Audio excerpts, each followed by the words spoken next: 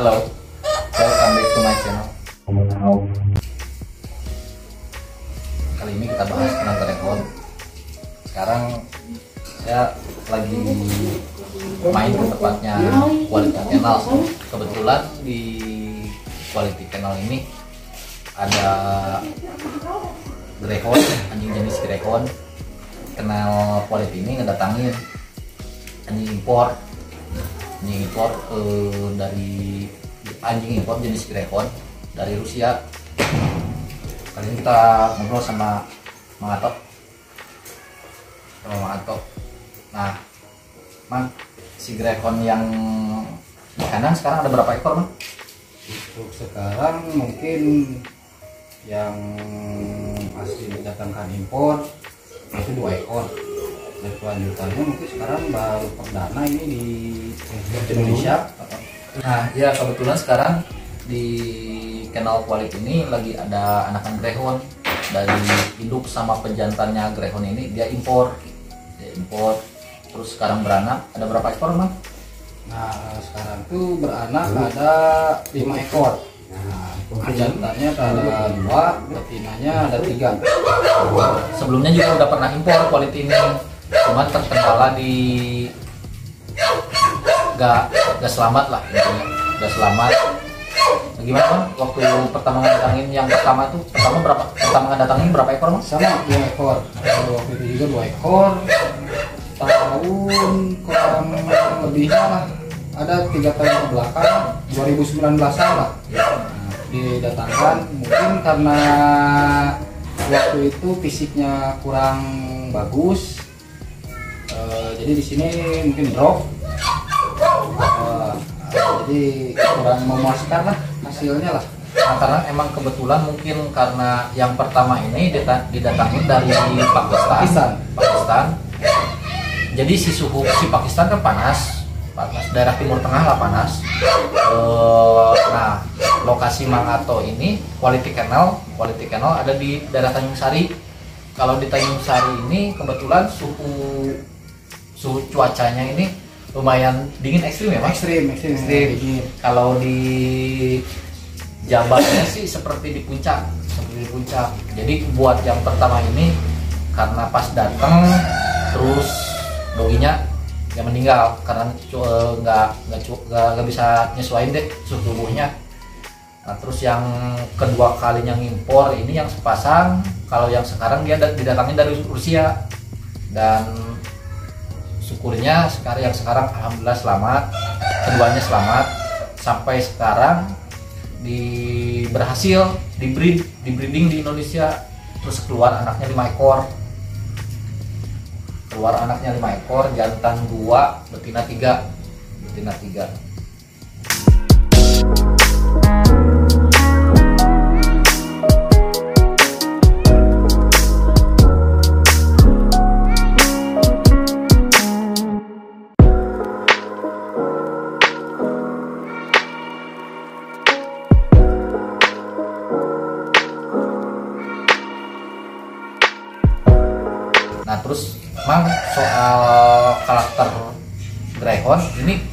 ini gimana emang?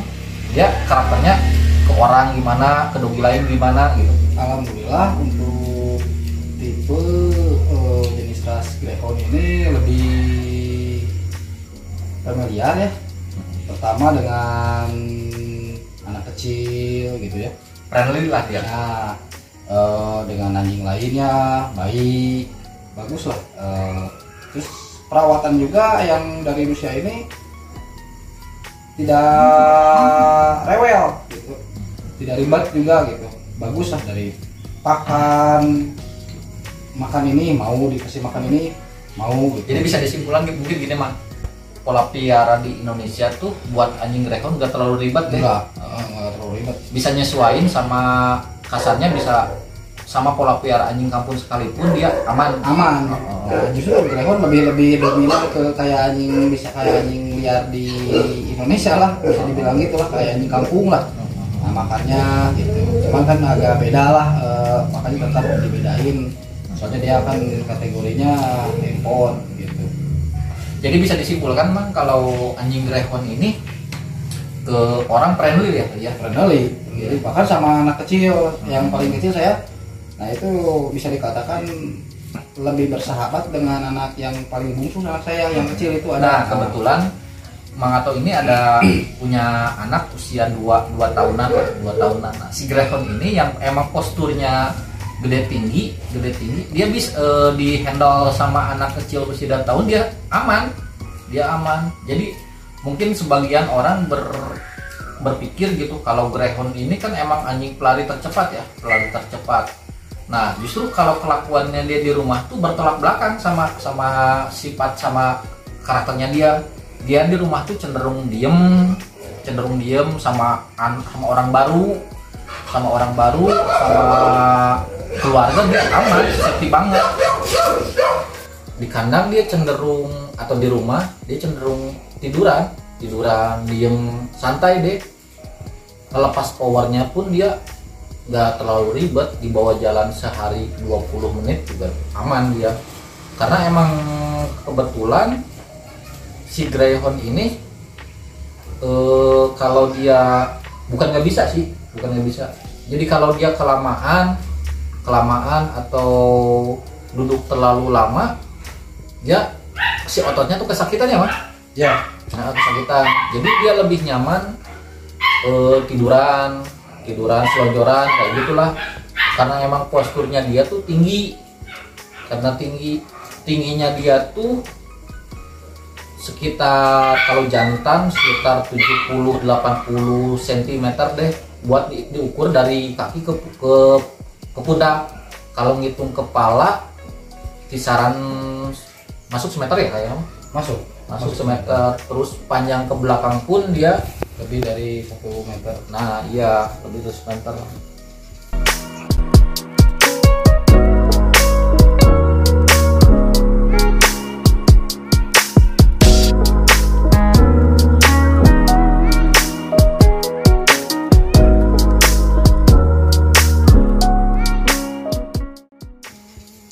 terus lagi mang. Si Greyhound ini selain pertama di Indonesia keistimewaannya tuh dia pelari tercepat ya ya Nah, eh, masuk kategori pelari tercepat. Buat di Eh, ukuran anjing. di ukuran anjing. Oh, Greyhound itu jenis anjing tercepat yang hanya bisa dikalahkan oleh sejenis hewan citah ya jadi disimpulkan kalau di di ukuran anjing dia pelari paling tercepat. Kalau di hewan dia kedua berarti. Yang pertamanya kan Ah, citah ya? pertama citah. Ah, keduanya gitu. Greyhound Greyhound. Terus mang eh, Quality Kennel. Kedatangin si Greyhound ini kan ada sepasang nih, Ah, ada sepasang. Buat seekornya kisaran berapa mang? seekor itu lumayan lah. Eh nyampe ratusan lah Ratusan, tanggal berarti ratusan juta ya? ratusan ah. Ya. Jadi buat buat ngedatangin dua ekor ini sepasang yang jantannya Hatai namanya, yang betinanya Laisa. Quality Kennel ini buat cukup merogoh koceknya lumayan agak dalam juga ya. lumayan lumayan menguras lah bukan ini Ah. lagi menguras saku lah Nah, terus buat sekarang ada anakannya yang lima ekor ini rencana dijual berapa, Mang?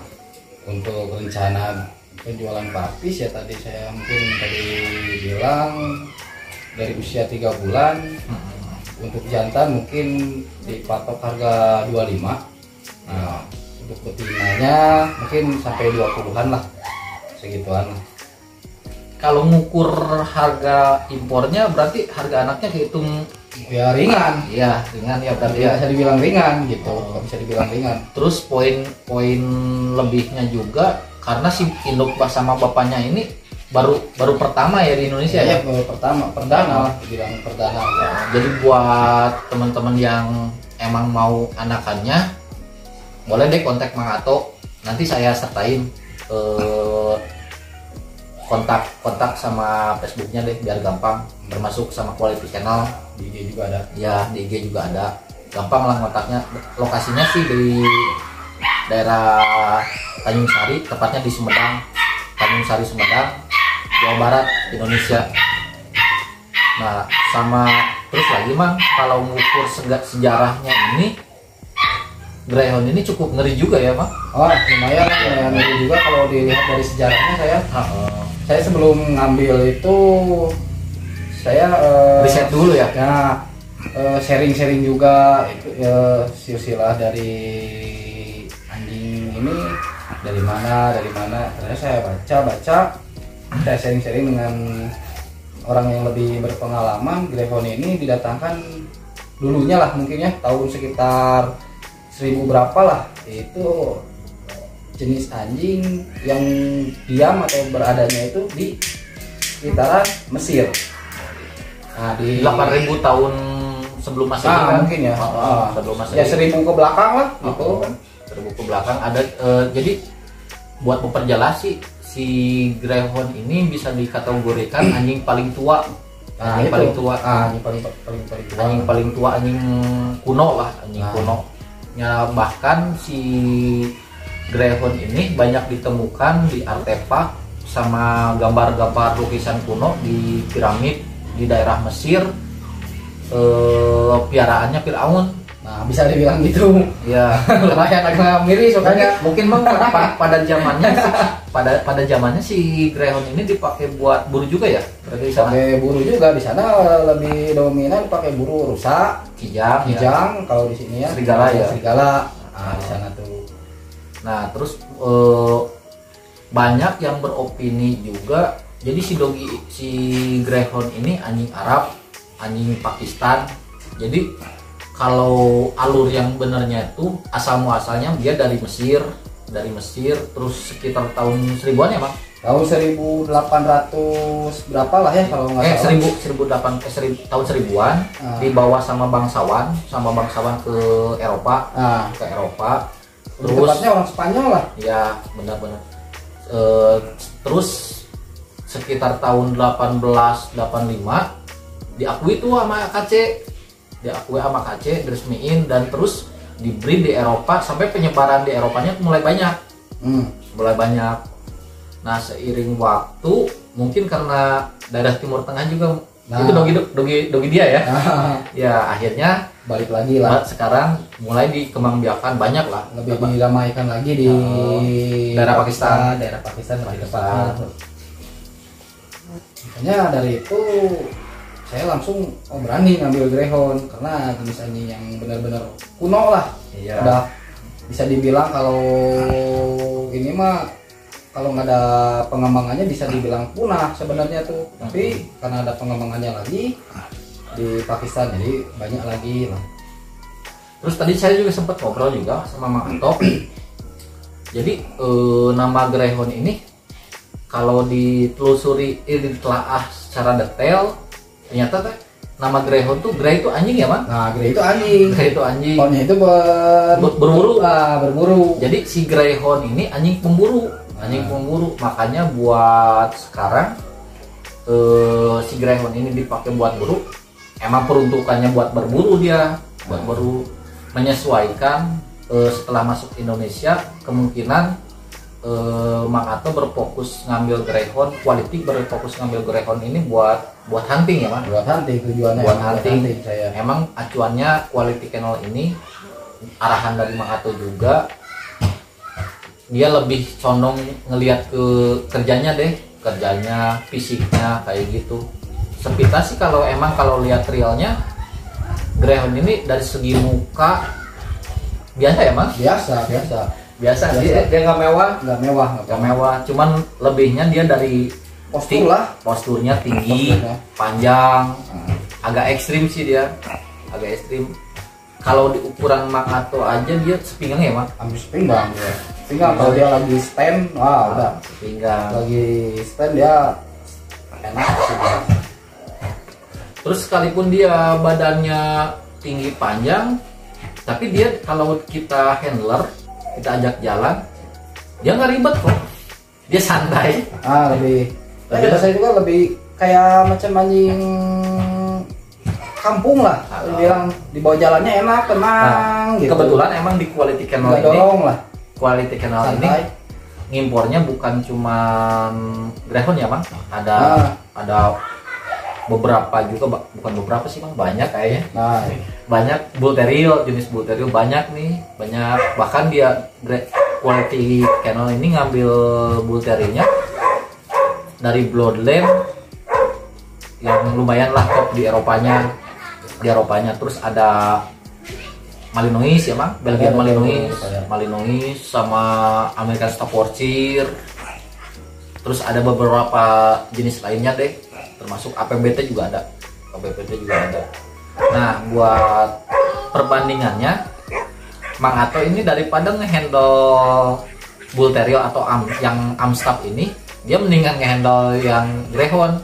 Karena sekalipun dia badannya tinggi panjang enteng ya Mang? Enteng. Enteng mau jalannya lebih lebih dari lebih dari itu ya. Ya kan tadi saya juga udah bilang di handle sama anaknya Mang Ato yang usianya 2 tahun ini si Hatai ini dia aman dia Aman, baik. gitu. Baik dia baik. Diajak main juga baik gitu. Nah terus Mang eh, rencana ke depannya mungkin si Greyhound ini buat diberi lanjut di Indonesia mungkin ya Mang? pasti itu udah udah pasti. Itu jadi acuan saya untuk di lebih lebih di breed lebih diperbanyak lagi di Indonesia karena kemungkinan mungkin lah ya ini mah ya. Eh, untuk Greyhound mungkin baru ada di Indonesia cuman si Hatai saya lihat-lihat gitu ya. Nah, cuman si Hatai yang ada di kandang di sini di quality. Ya salah satunya sih eh quality ini salah satu bisa dibilang udah mendongkrak dunia perputaran dunia anjing di Indonesia khususnya di dunia Porbi ya mas nah Porbi mudah-mudahan ke depannya Greyhound penyebarannya cukup menyebar lah di Indonesia khususnya di daerah Jabar sama Sumbar ya? Sumbar. Sumbar ya eh ke depannya mungkin kan di Sumbar ini acuannya buru ya Porbi Marenten nah buat di- eh, dengan kedatangannya si Greyhound ini ke Indonesia si- cukup menunjang lah ya, Ya. kebutuhan Marenten di Indonesia. Ya mungkin eh, sedikit sedikit tambahan mungkin belum ada yang ini. Eh, sampel anak si Hatai juga ada yang di mix. Oh iya benar. Ah, yang di mix Ah. juga jadi belum sebelum sebelum diberi sama Greyhound. Ah sebelum Greyhound lagi. Saya eh, udah beri buat mixed dari dari lokal terus yang kedua mungkin ke Terrier impor. Terrier impor nah nah eh, quality ini lumayan kalau nekat dibilang nekat ya bang? Ya. Bull Terrier impor dari Portugal. Dari Rusia. Eh, dari Rusia, Dari Rusia. Betina betina Bull Terrier impor ini dipacak sama Greyhound. Sama Greyhound yang impor dari Rusia juga. Dan alhamdulillah sekarang udah keluar anaknya. Empat ekor ya man empat ekor. Eh, Empat ekor. empat ekor. Sehat semuanya sampelnya udah ada sampelnya udah ada terus yang dari mixnya dari Bull Terrier lokalnya udah ada Udah ada. udah ada mungkin ke depannya mudah-mudahan sesuai harapan deh Nah gitu. Kebetulan yang, dua ekor ini udah laku man udah laku lah, dibilang udah laku lah. Eh, nunggu tinggal nunggu penjemputan, tinggal tunggu pengiriman itu ke Pekanbaru. Pekanbaru. Itu ke Pekanbaru. Terima kasih sebelumnya juga eh, atas kepercayaan buat Bang Tommy sama Bang Dede eh, sudah mampir dengan anak si Hatai eh, yang sudah dipeset ke si Besti ya ke karir lokal. Saya akan tunjukkan lah eh, nanti anaknya sampelnya itu ada di sini. Bisa saya tunjukkan. Nah ini mang sampel anaknya ya, yang dari anak dari hasil mix. Induk mix. ini mix eh, dari ketelir lokal lah Ukurannya ini kalau perbandingannya sama dogi-dogi di kita lumayan gede sih. usia baru dua bulan setengah lebih lah tiga bulan kurang Iya. Dua bulan ini ukurannya udah lumayan ekstrim nih tingginya. ekstrim. Kalau tebalnya karena emang greyhound nggak nggak Nggak main di tebal. Tengah. Dewasanya juga si Atai paling kisaran 30 35 ya, Mang. ya ya 35 ini anaknya tingginya lumayan ekstrim. Usianya baru dua bulan. Setara sama ukuran dogi lokal dewasa deh. Nah gitulah. Oh. nah, mungkin lebih tepatnya eh, ambil aja lah. Ke anjing kampung baru ukuran 4 lah. 4 Oh. 5 lah gitu. Nah buat yang ini tuh yang mixnya. Dari induk bull terrier lokal malah yang dari Grehona ini bakal lebih ngeri dari ini usia dua bulannya Insya Allah, Insya Allah. ya lebih tinggi lebih panjang emang Ya, ya.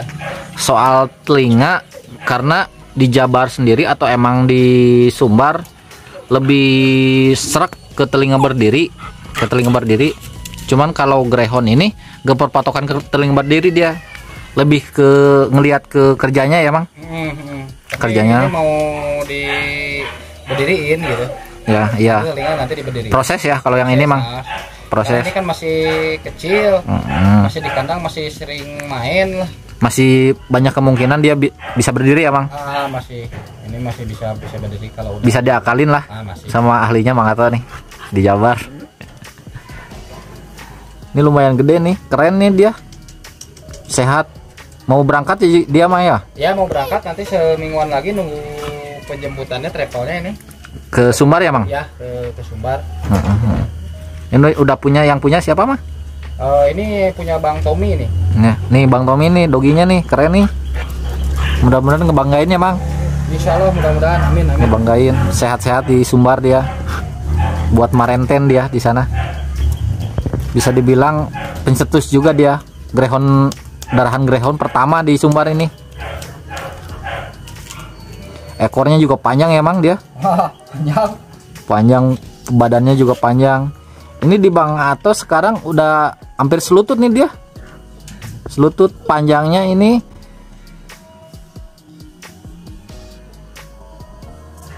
Udah hampir 70-an ada deh emang ya?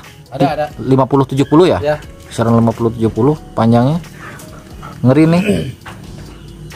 Oke nih Bang Tommy nih. Punya punya ginian di, di Sumbar Mantap buat Sultan. Pekanbaru nih. Nah, ayo siapa lagi nih yang di Sumbar yang mau ngikutin jejaknya Bang Tommy nih? Buat biar di Sumbar banyak ya, Mang, Ya ya. Grehon.